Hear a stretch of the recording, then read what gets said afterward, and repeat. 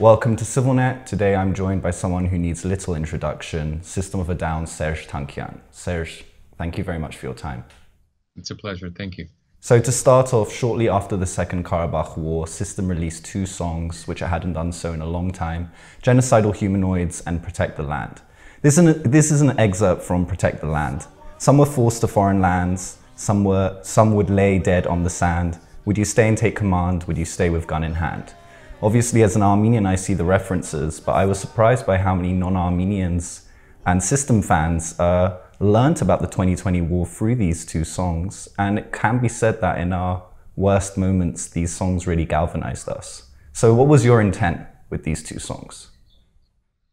Um, mostly it was to break through the disinformation campaign launched by Azerbaijan during the war. We saw how their social media bots were obliterating other artists trying to stand in solidarity with Armenians and with peace. Um, and so we wanted to get the truth out about what was going on and we hadn't put out music in 15 16 years so it became a real kind of uh, thing for us to a motivation for us to want to want to tell the truth uh, about what was going on and so we got together and released those songs quite quickly and uh, spoke about the need for you know to to break through that disinformation we, we all noticed along with i'm sure you did the kind of false parody that was in the press at the time, especially the first two weeks of the war, uh, due to the Turkish Azeri disinformation campaign and social media kind of onslaught. So we're trying to fight that physically and also obviously raise funds uh, for humanitarian aid in Artsakh and Armenia. And um, of course, President Biden officially recognized the Armenian genocide, and it was a long journey to this moment. And, and you expressed your gratitude online. Uh, also, in the documentary Screamers, you spoke to US politicians and encouraging them to recognize the genocide, and you even visited your grandfather to speak about the memories and to speak about the genocide. So, what's next for you in the direction of Armenian genocide recognition? Well, what's next for me should be what's next for our nation in terms of genocide recognition. Um, we, you know, personally, I'm focused on getting, trying to get the UK, Australia, New Zealand, other countries that should be recognizing the genocide to do so. I've got New Zealand residency. I live there part of the year, and so you know we uh, working on that um, with Armenian diasporan uh, political organizations, uh, lobby groups, etc. Um, and but it's also it's it's just all about putting pressure on Turkey to do the right thing ultimately themselves. Um, it's going to I, I find it hard to see that under Erdogan, but you know there will be a day where Turkey has to recognize the genocide and and uh, apologize and make amends, reparations, whatever is necessary. Uh, for there to be justice for the descendants of you know the uh, those that suffered under the genocide, and I'm always um, cognizant to mention not just Armenians but also Greeks and Assyrians who suffered. Mm-hmm. And um, not to put a finer point on it, but you're an activist and you were here even before the revolution, and um, you were using your celebrity status to push the previous president, Serge Sargsyan, towards reforms. And you were here in the early days of the revolution as well. So, how can you use your activism now that Armenia is in a state of military defeat, economic hardship, and political crisis?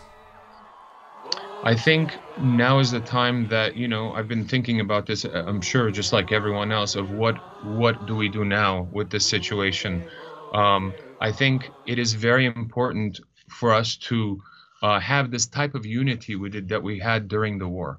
Uh, you know, the the type of standing up together, the solidarity, the uh, galvanization and and the investment into our our nation. Um, that feeling that we had as one. We need to have that now. We shouldn't be a type of people that drop the ball because of a loss. Okay, uh, we have to look at other nations that have suffered uh, these types of, you know, uh, military defeats, including Japan, Germany, Israel after, you know, 1967 war, and what they did, what they learned from it, how they bounced back, and we have to build. You know, Eric Hacopian, who you've interviewed many times, has says the same thing. We have to put our heads down. We have to build, whether it's our military infrastructure, whether it's our educational system, whether it's our economy, which is extremely important for that building process. Um, so we have to work hard. We have to stand up together again and harder than even before, stronger than even before, you know, I'm referring to during the war.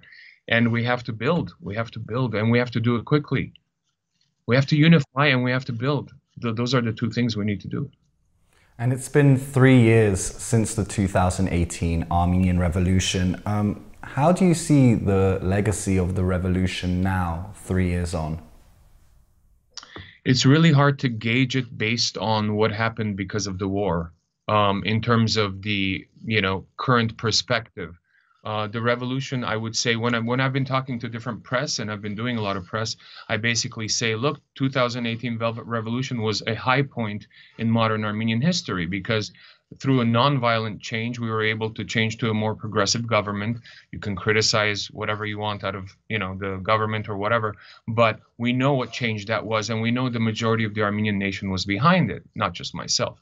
Um, but obviously, two and a half years later, uh, because of Azerbaijan, uh, Turkey, Syrian mercenaries, their aggressiveness, that peaceful revolution that the country embraced uh, created, not created, but uh, two and a half years later, we experienced this horrible war that we, we were having to defend.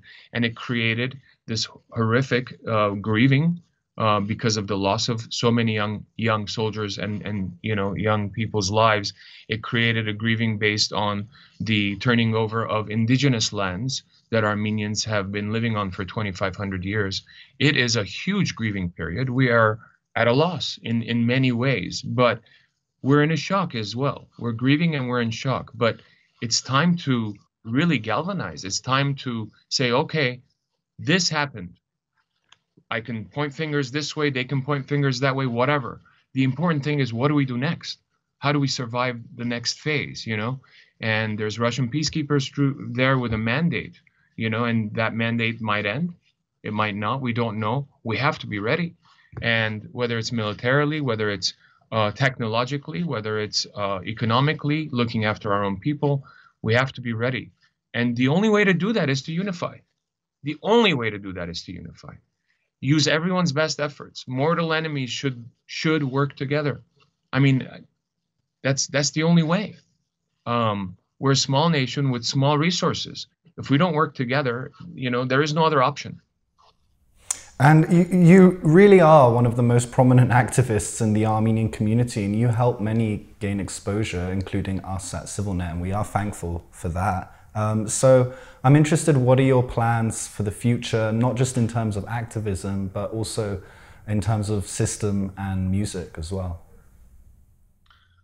Uh, the activism continues, you know, I mean, you, you, know, when you're speaking truth to power, there's, you know, there, uh, there's, there's always something to say on a daily basis. There's always injustice occurring everywhere, not just having to do with Armenia, but, but everywhere around the world, obviously. Uh, we're living in kind of uh, very difficult times in terms of our um, mm, there there's a real uh, threat to our ex- extinction as a, as beings uh, based on climate change. You know, there's there's many things to tackle as an activist, but getting to music, your real question. Um, during COVID, I had a lot of time to finish a lot of music that that I had been starting to work on.